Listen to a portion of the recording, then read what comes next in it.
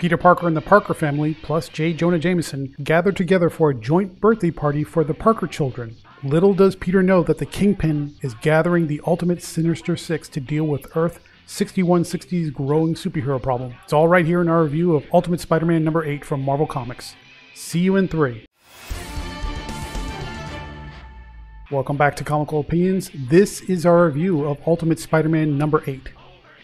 You know, when you're setting up a long form story, there's a right way and a wrong way to plan for the future.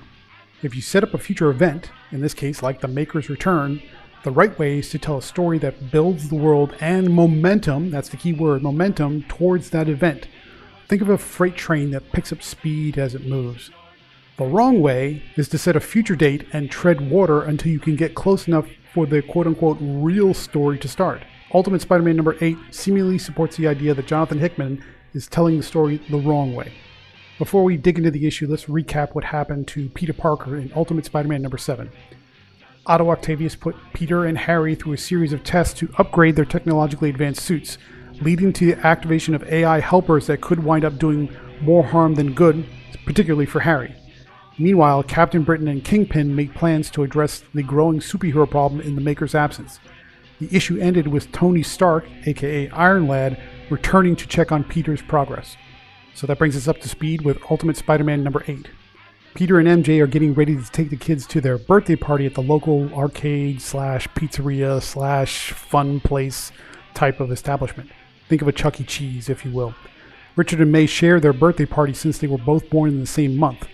Before MJ leaves with the kids and Peter goes to get the cake at the bakery, Peter's Picotech suit which sits in a sphere shape on a nearby table, speaks to Peter to wish the kids a happy birthday.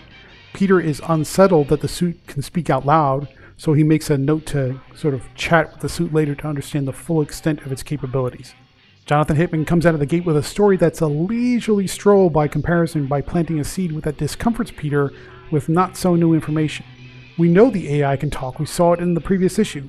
But the fact that it can talk out loud when he's not wearing it isn't the unsettling moment Hickman is trying to make it out to be.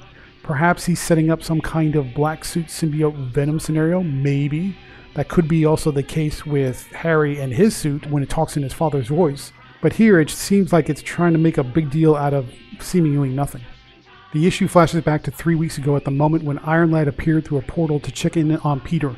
That basically is the very last page of the previous issue. Iron Lad explains that Peter is special because he was at the top of the Maker's list of heroes that must not come to pass.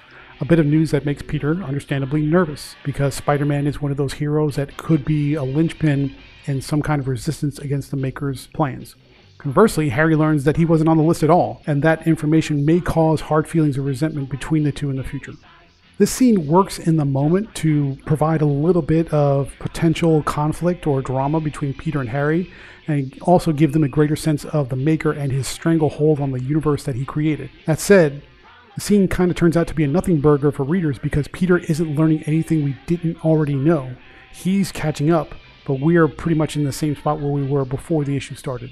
The issue returns back to now when we find Peter meeting Uncle Ben and J. Jonah at the bakery where they exchange uh, I would say, endearing comments about each other. The scene leads to the expected moment when Ben and J. Jonah offer Peter a job to come work for them on their new newspaper venture. Peter doesn't say yes, but he doesn't say no either. Later, the party goes off without a hitch, and we see J. Jonah sharing an uncharacteristically sweet moment of care and support for Richard during the party when he gives him a special gift. In this previous scene, we get some world building and nice character moments, but the impact of these developments don't amount to much bringing Peter over to work for Ben and J. Jonah, which he doesn't say yes to yet, but at least that little plan or that little subplot has started, is completely unsurprising because it just brings him in line with Earth 616's Peter Parker. Plus, the moments between J. Jonah and Richard Parker are sweet, sure, and they kind of give you a sense of the, the connection or the bond that they have, but does it really mean anything? No. In the context of the greater story, it, it kind of doesn't. It's just a nice moment to have, but it's just there. The issue concludes with Kingpin gathering the lieutenants from New York City's four remaining boroughs and the underground underneath those boroughs to form the ultimate Sinister Six, starting with the Kingpin, but now including Negative Man, the Black Cat Senior, Mysterio, Kraven, and the Mole Man.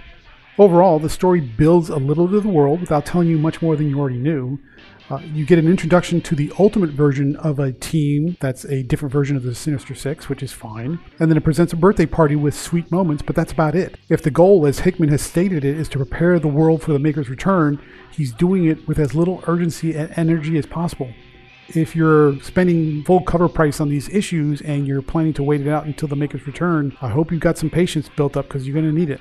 Let's take a look at the positives and the negatives, starting with what's great about this issue. What do we like about Ultimate Spider Man number 8? Jonathan Hickman's issue works when he focuses on the small personal interactions between characters. Ben and J. Jonah privately telling other people that the other is lonely is super charming. I'm just going to put it out that it, it certainly works.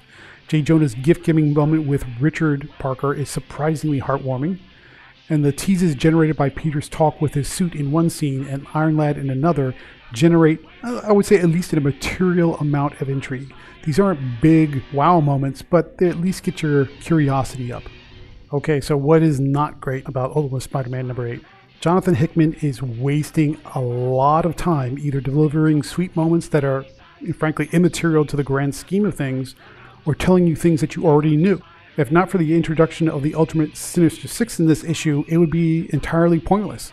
To keep this in perspective, the only notable things that have happened in this run are Peter's turn into Spider Man, Harry's turn into the Green Goblin, and the introduction of the Ultimate Sinister Six. If you've been paying full cover price for each issue, that means you spent $41 US to get to three plot points that are significant. I hope your wallet and patience are up for this because, again, it's going to be a very slow and expensive year waiting for the maker to show up. Final thoughts. What do we think about Ultimate Spider Man number 8?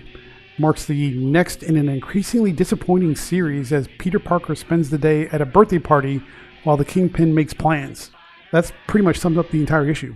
If the goal was to get Earth 6160's heroes ready for the Maker's return, Jonathan Hickman is taking the slowest, least urgent road possible to get there. At $5 per issue, Marvel can't afford to continue to waste the reader's time and money on a premium series that's just treading water. Therefore, Ultimate Spider Man number 8 earns a disappointing 5.5 out of 10. I don't know what plan Jonathan Hickman had in mind, but it sure involves a lot of fluff, a lot of treading water, and all around just a lot of waste. But what do you think? Is this the best Ultimate title out right now? Give us a thumbs up if you think it is, and leave us a comment below if you have an alternate opinion about how you think Hickman is handling this series. Also, remember to click on the link in the description to read the written review and buy this comic to help support the channel. That would be greatly appreciated. So thank you very much for joining, and stay tuned through the outro for more reviews just like this one.